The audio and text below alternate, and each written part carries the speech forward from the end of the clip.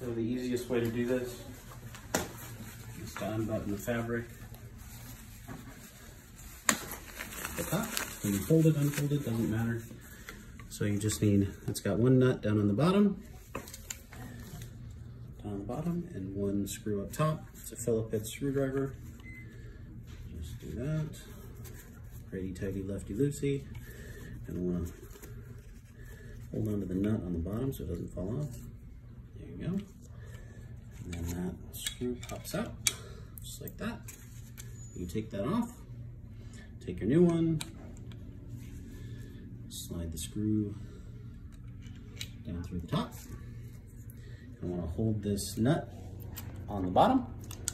Oh, or it'll drop like that.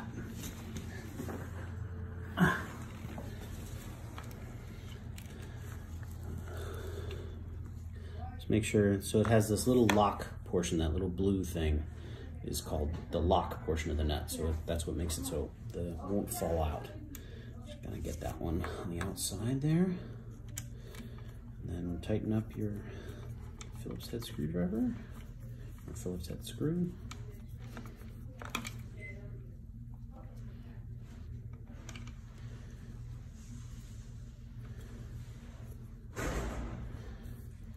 Just like that. And you're good to go.